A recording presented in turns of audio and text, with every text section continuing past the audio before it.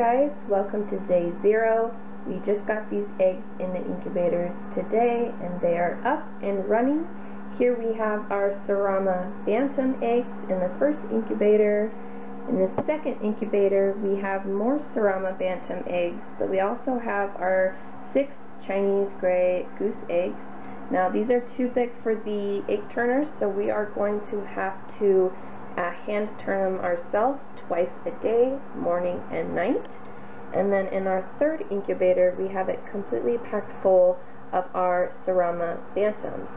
So we will be showing you guys clips every day, and we will also be candling them so you can see them growing, and we'll be able to tell which ones are fertile and which ones are not.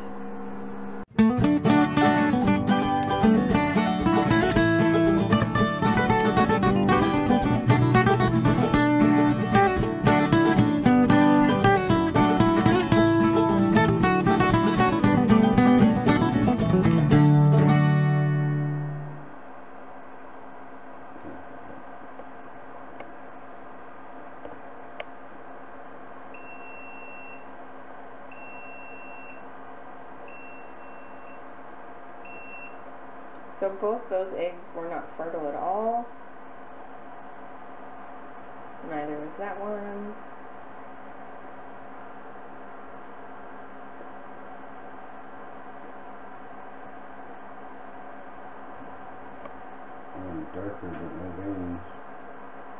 what we're looking for is veins. And on day nine for the Bantams, they should be very developed. You'll be able to tell when you find one. These ones should be going, yeah.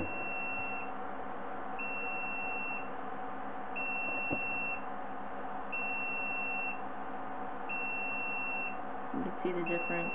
Can you turn close So that one we're going to keep. That one's not fertile. A lot of them are not fertile. We have five dozen, so hopefully we'll be able to get quite a few.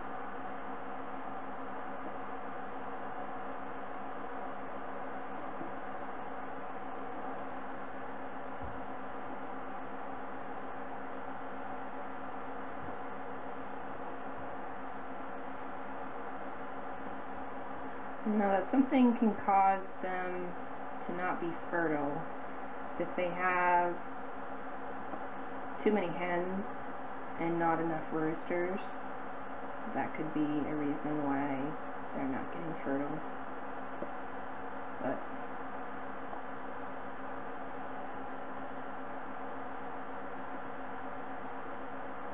oh, Oh, moving. there's another. Yeah, look right here. Oh yeah. So that one is a definite yes. It's all sorts of lively.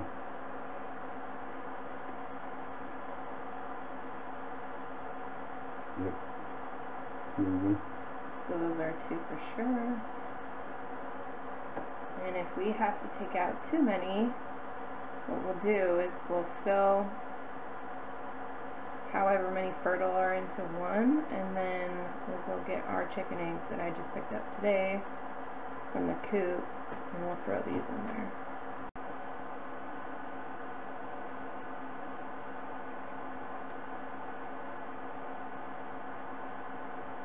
Oh. Yep. So that's four, I already checked that one. five. Alright, move on to the next. Fertile. Not fertile. Mhm.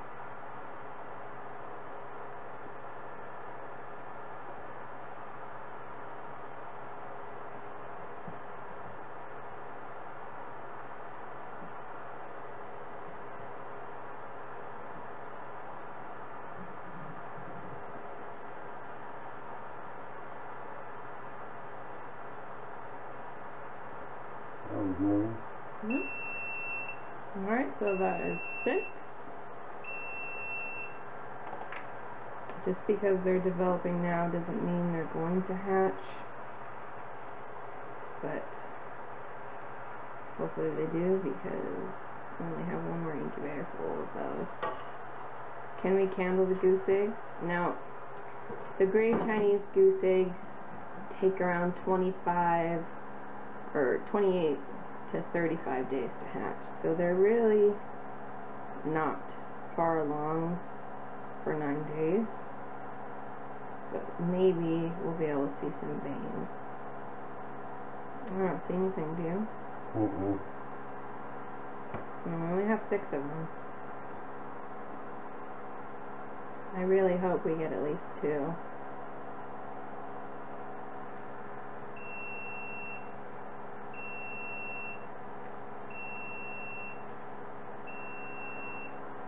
Well, these ones should be weighing and Yeah.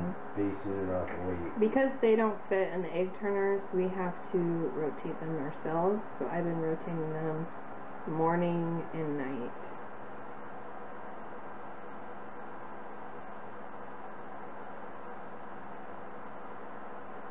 Nothing. Mm. I don't know, I'm kind of seeing some different stuff.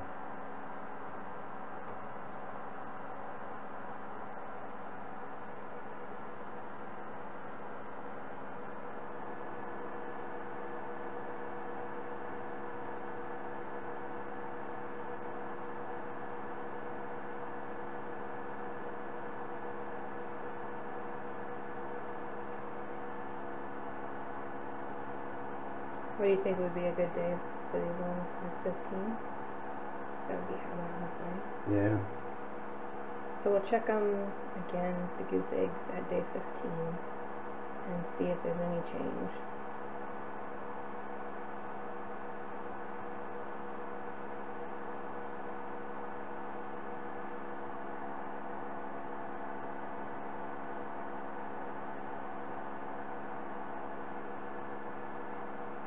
They all look about the same to me.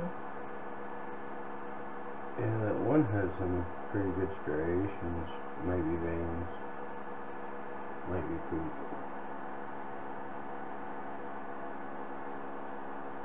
Alright, move on. Alright, so we have our own chicken eggs in here. We have our barred rocks. We have our Americana and our bantams. So got the goose eggs going. And then what was left is the fertile Serama bantams.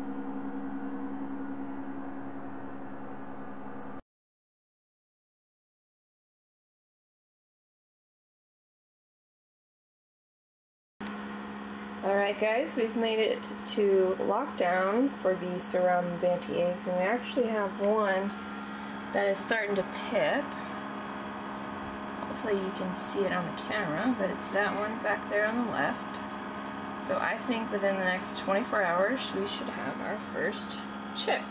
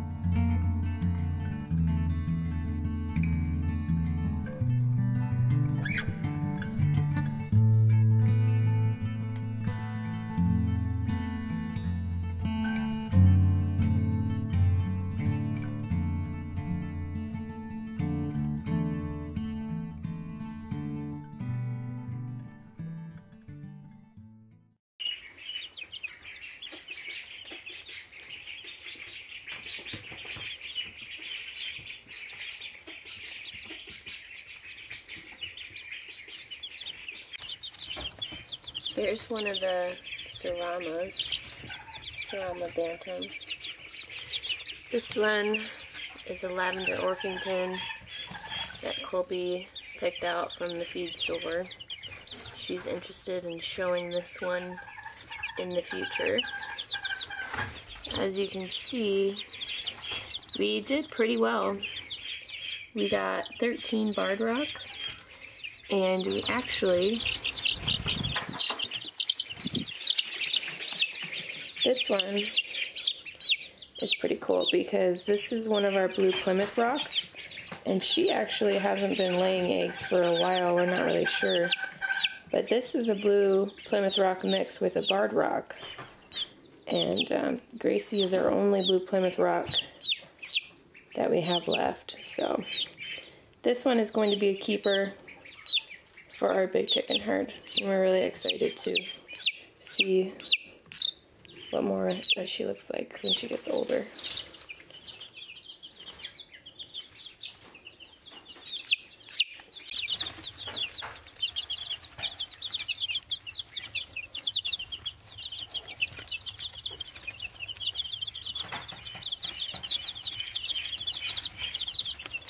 See how much smaller the, the bantams are because they hatched out at the same time.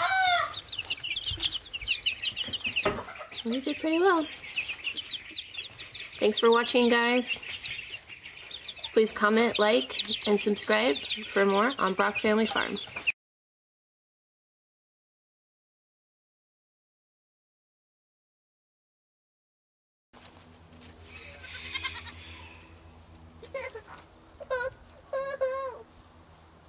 What is it, Baba?